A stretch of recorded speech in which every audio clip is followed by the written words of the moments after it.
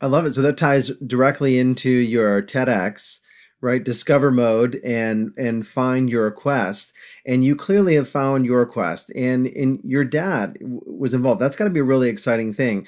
Did you? When did your relationship on on this level with your father, if you don't mind me asking on a personal level, like when did you guys start talking about leadership? Did that grow up from when you were a kid as well? Uh, yeah, it, it's really fun to reflect back. And so my dad had these really high powered uh, CEO jobs after working his way up.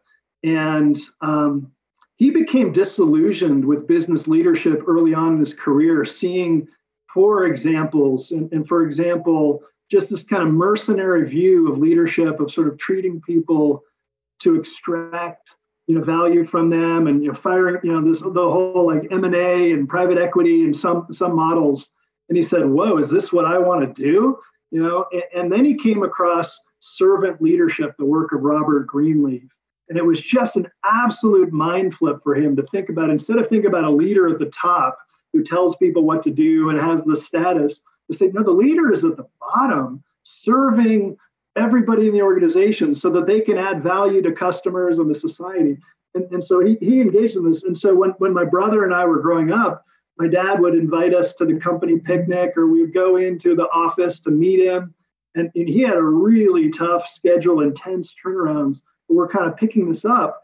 And early in those years, I was a little bit cynical about business and I was more interested in you know nonprofit and government.